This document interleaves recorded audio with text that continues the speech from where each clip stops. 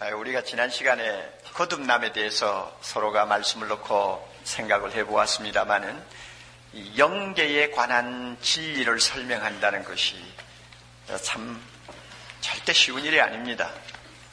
세상 이야기를 해도 어떤 경우에는 알아듣지 못하네 못해가지고 고개를 갸우뚱하기도 하고 한동안 의심의 늪에서 헤어나지 못하는 일들이 참 많이 있는데 눈에 보이지도 않는 영적인 세계의 일을 또 내 내면의 영혼에서 일어나는 일들을 우리가 설명한다 또 깨닫는다 하는 것은 인간의 어떤 지혜와 상식을 가지고는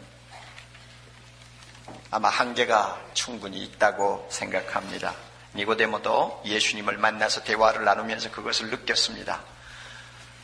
예수님은 인간의 이런 연약함을 아시고 참 어렵고 심오한 하나님 나라의 비밀을 말씀하시면서 자주 우리 주변에 일어나는 일들이나 혹은 우리가 흔히 눈으로 보고 만지고 하는 물건들이나 또 우리가 많이 경험하는 것들을 놓고 그것에 비유해서 설명을 하실 때가 참 많이 있습니다. 우리가 사장에 들어가서 보면 알겠지만은 물을 길러온 수가성의 여인에게 샘물을 가지고 구원의 진리, 성령의 진리를 설명하시던 주님을 우리가 이미 잘 알고 있습니다. 또 가수원 곁을 지나가면서 포도나무를 가리키며 하나님 아버지와 우리의 관계, 우리와 예수님과의 관계는 포도나무와 가지와 같다고 하는 것을 설명하시는 주님을 우리는 기억하고 있습니다. 또 목장을 지나가면서 양과 목자를 가리키며 주님은 선한 목자요 우리는 양이라고 하는 사실을 일컬어서 우리가 영적으로 주님과 우리 사이에 얼마나 깊은 어, 생명의 관계를 나누고 있는가를 설명을 하십니다. 니고데모를 앞에 앉혀놓고 거듭나는 문제를 이야기하는데 니고데모는 계속 고개를 갸우뚱갸우뚱 하면서 도무지 알아듣지를 못하는 것을 주님이 보셨습니다. 깊은 밤입니다.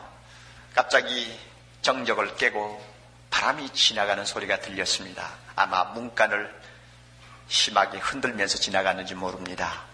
소리가 들렸어요. 그때 주님께서 자 니고데모 선생 보시오 바람 소리가 들리지 않소. 성령으로 거듭나는 사람은 마치 바람 소리와 같소. 저 지나가는 바람과 같아요. 하고 설명을 하시지 않았나? 저는 8절을 보면서 그렇게 상상을 해봅니다. 바람이 임의로 불매, 바람이 제 마음대로 불매. 그렇죠? 바람이 제 마음대로 불잖아요. 제 마음대로 불매. 내가 그 바람이 어디서 불어와서 어디로 가는지 잘 알지 못하지 않니? 그러나 너는 그 소리는 듣지 않냐? 성령으로 난 사람은 다 이러하니라. 글쎄, 니고데모가 알아들었는지 못 알아들었는지 우리는 그 다음 절을 보면 금방 알 수 있습니다. 어찌 이런 일이 있을 수 있습니까? 또 엉뚱하게 반응을 하는 것을 우리가 봅니다. 여러분, 에, 이 바람에는 두 가지 성격이 있는 것을 우리가 예수님의 비유에서 금방 알 수 있습니다. 하나는 신비성입니다. 바람은 신비스러워요. 어디서 어떻게 생겨가지고 어디로 불어가, 불어가서 어디로 어, 가가지고 없어지는지 참 그 당시 사람으로는 도무지 추적할 수 없는 저 먼 세상의 하나의 현상이었습니다. 물론 요즘같이 뭐 인공위성을 띄워놓고 저기압 고기압 영향으로 저 태평양에서 바람이 생기고 그게 나중에 태풍이 되어가지고 어, 접근을 하면은 뭐 시속 얼마다 비가 있다 없다, 뭐 A급이다 B급이다 하고 우리는 그 모든 바람에 가는 길을 추적하면서 우리 나름대로 정확한 과학적인 지식을 가지고 우리는 어, 관찰하고 있습니다. 그러니 요즘 사람들이 이 8절의 이야기를 읽으면 참 예수님이 어떻게 이렇게 캄캄한 이야기를 하실까 하는 아마 의혹을 가질지도 모릅니다. 그러나 예수님은 과학적인 지식을 지금 논하는 것이 아닙니다. 그 당시에 사람들이 알고 있는 상식에 근거해서 지금 이 말씀을 하는 것입니다. 요즘처럼 과학이 고도로 발달한 시대라고 할지라도 사실 이 바람에 대한 신비는 아직도 다 캐지 못하고 있습니다. 왜 9월 달에 갑자기 태풍이 부는지 누가 이해를 합니까? 왜 갑자기 불어야 될 바람이 안 불고 있는지 우리 다 설명 못해요. 여전히 신비의 베일을 가지고 바람 자신을 어, 감추고 있다는 것을 우리는 지금도 알고 있습니다. 그러니 예수님 살던 당시는 오죽했겠어요? 바람은 신비스러운 존재입니다. 그러면서 동시에 바람은 사실성을 갖고 있습니다. 신비성이 있는가 하면 사실성이 있어요. 그것은 아무리 미미한 바람이 지나가도 소리가 들립니다. 숨길 수가 없어요. 그건 사실이요. 마찬가지로 거듭난 사람에게도 이 신비성과 사실성이 동시에 존재한다는 것을 주님이 지금 설명하는 것입니다. 물과 성령으로 거듭났습니까? 성령이 말씀의 씨앗을 그 마음에 뿌려서 그 영혼이 하나님의 생명을 나누어 받아 하나님의 자녀로 태어나는 신비스러운 역사가 일어납니까? 이건 신비한 거예요.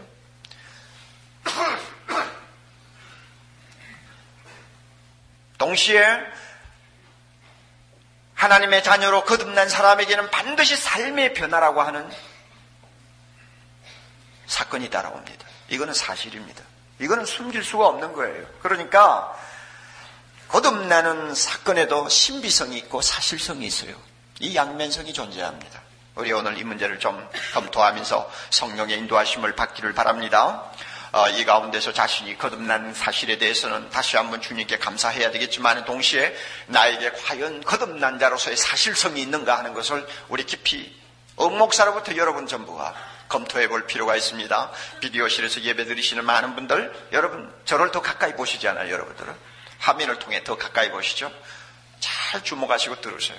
그리고 내가 거듭났다는 것이 확실합니까? 그렇다면 말만 가지고 우리가 말해서는 안 되고 과연 거듭난 자의 삶의 변화가 뒤에 따라오고 있는가? 바람 소리가 있는가 하는 것을 우리가 한번 살펴봐야. 거듭난 자의 이 신비성, 불가사의성, 우리가 이걸 좀 봅시다. 참 놀라워요. 여러분, 이 가운데서 90%는 아마 다 물과 성령으로 거듭난 하나님의 자녀라고 저는 분명히 믿습니다. 할렐루야. 예, 다 믿습니다. 여러분 입에서 할렐루야가 나오는 것은 그 육신의 사람으로 절대 못합니다. 다 우리 거듭났어요. 그런데요, 내가 거듭났다는 것이 얼마나 신비스러운지 설명할 수 있어요. 성령이 말씀의 씨앗을 내 마음에 뿌려서 그 씨앗이 우미 틀 때 내가 하나님의 자녀로 태어나는 것입니다. 하나님의 자녀로 태어나면서 영원하신 하나님의 생명을 내가 나누어 가지는 것이요. 우리가 세상적으로 말하면 아버지의 피와 살을 나누어 가졌다고 자녀 보고 그러잖아요? 그와 같이 하나님의 그 영원한 생명을 내가 나누어 가지는 것입니다. 그래서 내가 나도 모르게 하나님의 자녀가 되었어요. 어디서 내 안에 어디서 그런 역사가 일어났다고 여러분 설명할 수 있습니까? 성령이 내 안에서 어떻게 작용해서 그와 같은 놀라운 놀라운 신기한 사건이 발생했다고 여러분 설명할 수 있습니까? 과학으로 설명할 수 있나요? 여러분이 알고 있는 지식을 동원해서 설명할 수 있나요? 절대 설명할 수 없습니다. 이거는 베일에 가리워진 완전한 신비스러운 비밀입니다. 그러나 저도 마찬가지예요. 제가 언제 중생받았는지 다시 말해 거듭났는지 아무리 제가 과거를 추적하면서 먼 옛날로 돌아가서 내가 처음에 예수 믿고 기뻐하고 즐거워하던 그때 아무리 돌이켜보아도 그 사건이 어떻게 해서 일어나는지 도무지 설명을 할 수가 없어요. 저는 때도 시도 몰라요. 믿는 집안에서 태어나가지고 은혜 받은 때는 정확하게 기억합니다만은 내가 거듭나는 것이 어느 때였는지 내가 어떻게 알아요? 몰라요. 그러나 돌이켜보면 신비하기 끝이 없어요. 아마 여러분도 그걸 느낄 것입니다. 한 100년 전에 진화론이라고 하는 학설을 들고 나와서 기독교에 굉장한 해를 끼친 학자가 하나 있습니다. 여러분 벌써 이름을 기억하실 것입니다. 찰스 다윈이라고 하는 사람입니다. 지금도 그 사람의 학설로 인해서 얼마나 많은 지식인들이 성경을 거부하고 있는지 모릅니다. 아마 인류 역사상 아주 아주 못 쓸 사람 몇 사람을 꼽는다면 사상적으로 하면 그 사람 집어넣어야 될 거예요. 똑똑하기는 굉장히 똑똑한 것 같은데 얼마나 하나님의 진리를 거역하게 만들고 사람들로 하여금 마음을 닫게 만들었는지 몰라요. 이거 찰스 다윈이 한 번은 남아메리카 부족들을 상대로 해가지고 뭐 진화 과정을 아마 연구하고 있었던 모양입니다. 그 남아메리카에 가면은 그 뭐 부족들이 저 장글 속에 얼마나 많습니까? 적은 숫자는 뭐 몇백 명에서 시작해가지고 몇천 명에 이르는 부족들이 말도 다르고 생활 간섭도 다르고 뭐 모든 것이 다르죠. 그 부족들을 상대로 해서 아마 이 원숭이로부터 사람이 사람으로 발전하는 이 진화 과정의 어떤 근거를 찾으려고 아마 조사를 하고 있었나 봐요. 그런데 그가 파타고니아 원주민을 만났습니다. 저 잘 몰라요. 파타고니아 원주민이 어디 사는지도 잘 몰라요. 그러나 파타고니아 원주민을 만나가지고 그 원주민을 어, 연구를 하는데 결과적으로 다윈이 이런 결론을 내렸습니다. 이것은 인간이 아니야. 인간으로 넣기는 너무 비인간적인 것, 비인간적이고 짐승으로 넣기는 조금 발전했고 그러니까 아마 이게 아마 원숭이하고 아마 인간 사이쯤 되지 않나 아마 이렇게 생각을 한 것 같아요. 그만큼 그 파타고니아 원주민은 생활 수준도 엉망이고 뭐 짐승인지 사람인지 구별할 수 없을 만큼 미개해 보였나 봅니다. 사람으로 취급을 안 해서 자기 연구 어, 자료에 인간 그룹에다 그 파타고니아 원주민을 넣지를 않았어요. 얼마 후에 선교사가 그 부족에, 부족, 부족에게 복음을 전하기 위해 들어왔습니다. 허무 사람 같지도 않는 원주민에게 하나님의 복음을 전했어요. 놀라운 일이 일어났어요. 추장으로부터 시작하여 원주민들이 예수를 받아들였습니다. 예수를 받아들였다는 말은 그들의 마음속에 중생의 기적이 일어났다는 것입니다. 거듭나는 역사가 일어났다는 것입니다. 사람이 거듭나니까 달라지지 않아요? 아무리 미개한 짐승 같은 원숭이 비슷한 인간이라 할지라도 예수 그리스도를 받아들였으니까 달라지지 않아요. 나중에 다윈이 와서 달라진 그 부족들을 보고는 깜짝 놀란 것입니다. 자기는 사람이라고 생각지도 않을 만큼 미개한 사람들이었는데 어떻게 이렇게 달라졌느냐? 나중에 알고 보니 성교사가 복음을 전해서 달라졌단 말이에요. 자기는 이해할 수 없지만 그러나 이것은 참 기이한 일이고 참 칭찬할 만한 일이다 해가지고 성교사에게 다윈이 성교 헌금을 바쳤다고 하는 기록이 있습니다. 여러분 얼마나 신비스럽습니까? 예, 그 미개한 종족이 하나님의 자녀로 바뀌는 그 과정 우리 설명 못하고 그 신비를 우리는 열어볼 수는 없지만 하나님이 분명히 하시는 것입니다. 여러분 그 이만재 씨라고 하면 카피라이터 잘 알잖아요. 뭐 찐빵인지 구운빵인지 하는 책 내신 분 여러분 많이 에, 읽으셨다고 봅니다. 아, 그분이 그 중, 저, 거듭나고 나서 그 참 쓴 글을 보면 참 실감이 나요. 제가 언젠가 인용한 것도 같은데. 아, 참 그분의 말이 그 실감이 납니다. 왜냐하면 이 내가 중생받았다 하는 게 이게 도대체 이해를 할 수 없는 신비스러운 사건이거든요. 이 사람이 이렇게 써놨어요. 참 별 희한한 일도 다, 다 있다. 응? 참별 희한한 일도 다 있다.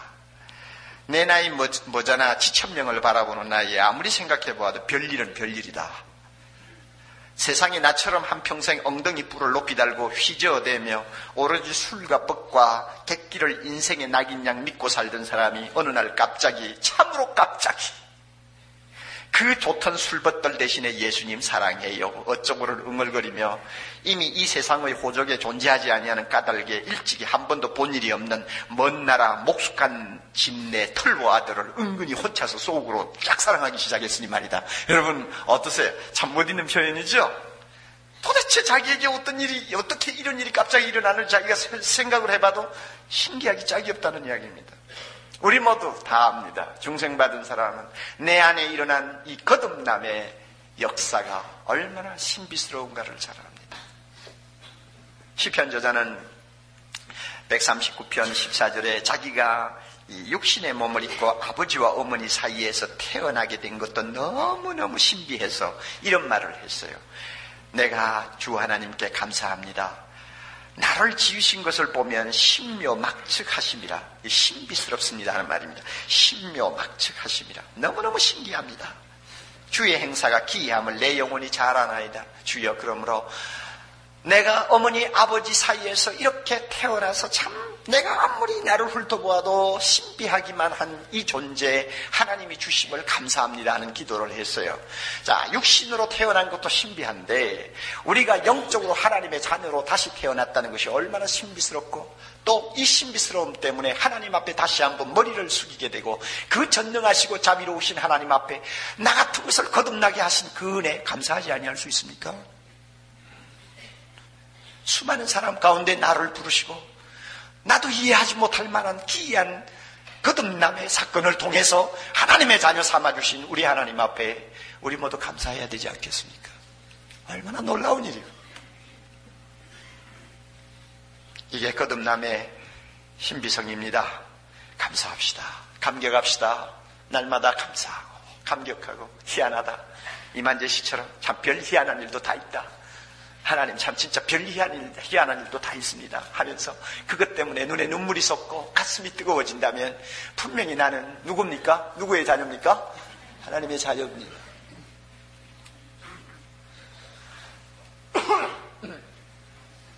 그 다음에 거듭남의 사실성에 대해서 우리 한번 검토해 보십시다. 바람이 불어요. 늦가을 어두운 저녁에 바람이 불어요. 살짝 불어요. 앙상한 가지에 매달려 있는 바짝 메마른 가랑잎을 살랑살랑하고 건드리면서 지나갑니다. 아무리 살짝 지나가는 바람이라도 그 가랑잎이 사글사글 소리를 냅니다. 바람은 속이지 못해요. 바람은 반드시 소리를 냅니다. 사람들은 그것을 당장 알아챕니다. 이런 미풍이 지나가는 소리를 비롯해서 그 다음에 바다를 완전히 뒤집어 놓는 A급 태풍이 지나가면 나무 뿌리가 뽑히고 지붕이 날아가고 자동차가 날아갑니다. 큰 바람 우리 잘 압니다. 바람은 소리를 냅니다. 바람은 흔적을 남깁니다. 바람은 분명히 모든 사람에게 자기의 존재를 알려줍니다. 이게 바람의 사실성입니다. 그렇다면 거듭난 자에게도 이와 같은 사실성이 꼭 따라옵니다. 그것이 뭐냐? 삶의 변화입니다. 새 사람이 되었기 때문에 따라오는 변화입니다. 인격의 변화, 생활의 변화입니다. 이것은 숨길 수가 없어요. 아무리 거듭나는 사건 그 자체는 신비스럽다 할지라도 나에게 일어나는 그 변화는 숨길 수가 없어요. 나무의 뿌리를 우리는 파헤쳐 보일 수는 없지만은 나무의 가지와 열매는 숨길 수가 없는 것처럼 우리가 하나님의 자녀로 거듭났다고 한다면 분명히 우리에게 나타나는 삶의 변화는 모든 사람에게 알려질 수밖에 없습니다. 이것 때문에 예수님께서는 마태복음 5장 14절에 너희는 세상의 빛이라 빛이 산 위에 있는 빛이 가리우지 못한다고 말씀했습니다. 우리는 세상 앞에 우리 자신을 덮어둘 수가 없습니다. 또 고린도 후서 2장 15절에 너희는 하나님 앞에서 세상 사람들에게 그리스도의 향기라고 말씀했습니다. 향기를 뿌리고 나가는 사람이 그 향기를 감출 수 있습니까? 아무리 옷을 껴입고 껴입어도 향기는 스면하기 마련입니다. 이와 같이 중생받은 자, 거듭난 사람은 그 변화된 삶을 통해서 모든 사람에게 자기를 드러내고 맙니다. 이것은 사실입니다.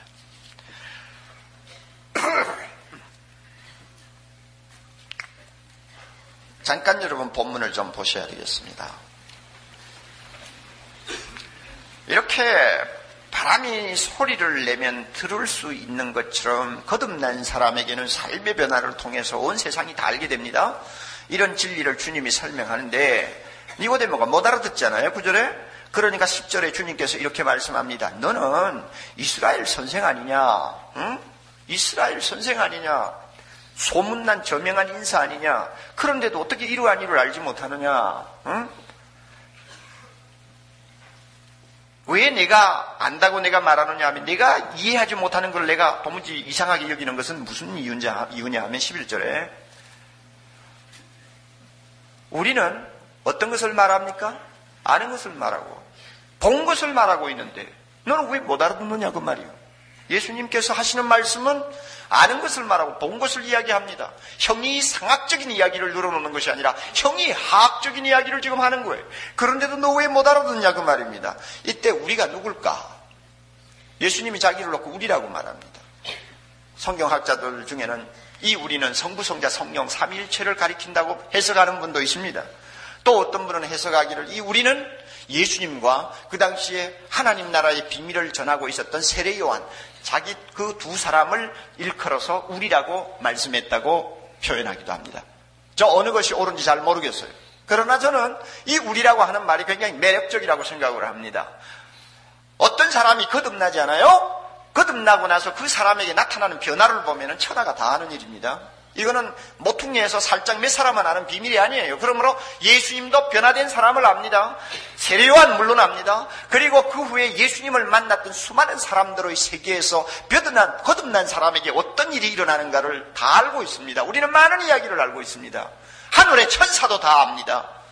심지어 저 악령의 세계 사탄도 마귀도 더러운 영도 다 압니다. 우리가 거듭나서 얼마나 변화된 삶을 누리고 있는가를 다 보고 알아요. 그러니까 내가 안다가 아니에요. 우리가 안다죠. 우리가 알아요. 우리가 아는 이야기입니다. 예수 믿는 사람만 아는 이야기 아닙니다. 절대. 안 믿는 사람들이 다 보고 알 수 있는 이야기입니다. 그러니까 주님께서 12절에 또 말씀합니다. 내가 땅의 일을 말하는데 왜 내가 알지 못하느냐 그러죠. 여러분 중생이 땅의 일입니까? 중생은 땅의 일이 아닙니다. 내 안에서 하나님의 자녀로 태어나는 이 거듭남은 이거는 영계의 일이요. 하늘에 속한 일입니다. 그럼에도 불구하고 왜 주님이 땅의 일이라고 말씀합니까? 이것은 중생 그 자체를 가리키는 말씀이 아니고 중생의 결과를 가리키는 것입니다. 중생 그 자체는 신비스럽습니다. 그러므로 세상 사람이 모릅니다. 심지어 중생 받는 사람도 잘 모릅니다. 그거는 하나님의 성령이 하시는 일입니다. 그러나 중생 받은 거듭난 사람에게 나타나는 삶의 변화는 이 세상에서 모든 사람이 눈으로 보고 귀로 듣고 확인할 수 있는 일입니다. 그러니까 그건 땅의 일이요. 세상에서 흔히 볼 수 있는 흔히 볼 수 있는 이야기입니다. 그러니까 주님이 땅의 일이라고 그럽니다. 분명히 니고데모야 얼마든지 내가 보고 들을 수 있는 이야기를 하는데 내가 왜 못 알아듣느냐 그 말이죠. 그런데 만약 너 같은 사람에게 내가 진짜 하늘에 속한 이야기를 한다면 내가 어떻게 알아듣겠느냐 그 이야기입니다. 예수님은 하늘에 속한 하늘의 비밀을 말씀하실 수 있는 유일한 자격자입니다. 왜 그런가 하면 13절 하늘에서 내려온 자 곧 인자 외에는 하늘에 올라간 자가 없느니라. 예수님은 하늘에 계시는 계시다가 우리를 위해서 세상에 내려오셨습니다. 믿습니까? 예수님은 하늘에 계셨습니다. 하나님 보좌에 계신 하나님이십니다. 그런데 우리를 구원하기 위해 오셨습니다. 그리고 이제는 그 예수님은 여기서 뭐라고 그랬어요? 하늘에 뭐한 자? 올라갔다고 합니다. 아직 올라가시지 않았는데 올라갔다고 해요. 참 이 성경 구절은 굉장히 어려운 구절 중에 하나입니다. 그래서 뭐 학자들이 이러기도 하고 저러기도 합니다만은 그러나 제가 볼 때 성경 전체 내용을 우리가 쭉 우리가 어, 종합적으로 어, 다루어 보면 비록 예수님이 땅에 계시면서도 하늘에 올라갔다는 표현을 쓴 것이 모순처럼 보이지만 그건 모순이 아니에요. 주님은 이미 하늘에 계셨다고 오신 분입니다. 그리고 우리를 위해 십자가 지시고 부활하신 다음에 다시 그 나라로 가실 분입니다. 그리고 가셔서 거기서 영원히 계실 분입니다. 그러므로 과거형을 썼던 현재형을 썼던 상관이 없어요. 예수님은 하늘에 계시다가 오신 분이고 지금도 하늘에 계시는 분입니다. 그러므로 하늘에 속한 정말 비밀, 하늘에 속한 신령한 비밀, 영원한 나라에 감추었던 그 비밀, 비밀을 우리에게 알려주실 수 있는 유일한 진리는 예수 그리스도밖에 없습니다. 그러니까 주님이 하늘에 속한 오묘한 진리들을 말씀을 하려면 끝도 없고 밑도 없습니다. 얼마든지 말씀할 수 있지만 니고데모와 같은 멍청한 사람 앞에 놓고 그 이야기 할 필요가 없잖아요. 세상 땅에서 흔히 볼 수 있는 이야기를 해도 지금 못 알아듣는 사람인데 그만큼 물과 성령으로 거듭난 사람의 변화된 삶은 어려운 것이 아닙니다. 날마다 눈으로 볼 수 있는 일입니다. 거듭난 사람은 숨기지 못합니다. 여러분 저 애를 낳아서 우리가 키워보면 알지 않습니까? 처음에 한, 한 3, 4개월은 이놈이 누구를 닮았는지 참 분간하기가 어렵습니다. 외가를 닮은 것 같기도 하고 친가를 닮은 것 같기도 하고 또 어떻게 보면 부부가 같이 싸우죠. 당신 닮아서 아니야, 내 코는 꼭 당신이야. 뭐 이러고 하죠. 그러나 한 1년 지나고 나면 이놈의 윤곽이 뚜렷하게 드러납니다. 드러나면 이제는 싸울 필요가 없어요. 아, 틀림없이 누구 닮았다는 것을 말할 수 있을 만큼 딱 표가 난단 말이에요. 표가 나죠. 못 속여요. 그 집안의 혈통을 못 속입니다. 물론 가끔 가다 별종이 나오기도 합니다. 그래서 저놈은 다리 밑에서 주워왔다 하는 소리까지 하죠. 아, 그건 뭐, 그러나 그것도 캐고 올라가면 뭐, 뭐, 어느 조상을 닮아도 닮은 거지, 별종은 아니죠. 그렇죠? 못 속여요, 절대. 어, 혈통을 못 속여요. 하나님의 자녀로 태어난 사람 절대 못 속여요. 반드시 티를 내게 돼 있어요. 여러분, 저 뭡니까? 여러분 다 출신들이, 출신이 뭐, 전라도일 수도 있고, 경상도일 수도 있고, 뭐, 이북일 수도 있고, 다, 뭐, 강원도 뭐, 감자박일 수도 있고, 다 그렇잖아요? 그러나 나뭐 어릴 때 거기서 자랐지. 나뭐뭐 철들고 나서 다 서울에 와서 산 분들이 참 많아요. 저도 그 중에 하나입니다만은. 그러니까 이 말이 경상도도 아니고 서울도 아니고 이상하게 짬뽕이 되어가지고 처음에 듣는 사람들이 아리까리하게 됩니다. 아마 제 설교를 듣는 분도 저, 저 목사님 좀참 억약이나 말이죠. 참 어느 지방 말이냐 하고 의아해하는 분들이 가끔 있어요. 그렇게 돼버렸어요. 그러나 아무리 제가 표준어를 많이 쓰고 서울 사람처럼 이야기를 하려고 해도 나도 모르게 가끔 뭐라카노 하고 나온단 말이에요. 그러면 야 우리 목사님 경상도구나 이렇게 한다.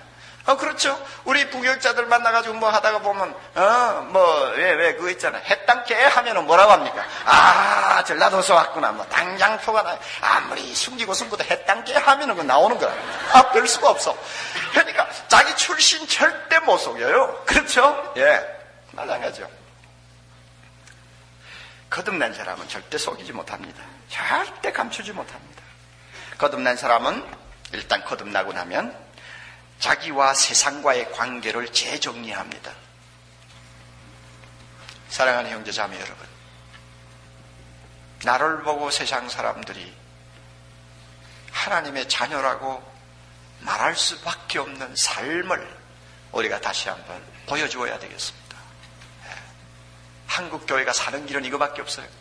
망교회, 신방교회 운동할 필요 없어요. 지금 있는 교회만 해도 우리 모두가 거듭난 하나님의 자녀로서 바람 소리를 좀 모든 사람들이 들을 수 있도록 바람 소리를 낼 수만 있다면 변화된 삶을 가지고 이것이야말로 하나님의 자녀라고 하는 것을 보여줄 수 있다고 한다면 오늘 한국은 치유될 수 있습니다. 지금 있는 신자들만 변화된 삶을 사회의 각 층에서 각계 각각 분야에서 개인적으로나 단체적으로나 우리가 보여줄 수만 있다면 이 혼란한 사회가 고침을 받을 수 있습니다. 여러분 남편이 여러분 아내를 보시고 변화되었다고 말합니까? 바람 소리를 듣습니까? 여러분의 자녀들이 여러분을 보시고 우리 엄마 아빠 분명히 분명히 달라지셨어. 놀라울 정도로 달라지셨어. 하고 말할 수 있습니까?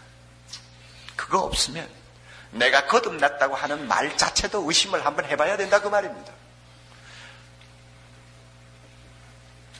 이 시간 주의 영이 이 자리에 임하셔서 이 말씀을 듣는 저와 여러분의 마음속에 다시 한번 거듭난 자의 아름다운 삶의 이야기가 풍성하도록 은혜 주시고 새롭게 하시고 치유하시고 세워주시기를 바랍니다. 교회를 다니면서 아직도 내가 중생받지 못했다고 하는 생각이 자꾸 드는 분들은 이 시간 성령께서 이 시간 부족한 사람을 통해서 증거하는 하나님의 말씀을 통하여 여러분에게 하나님의 생명이 탄생할 수 있는 놀라운 기적, 놀라운 축복을 허락해 주시, 주시기를 바랍니다.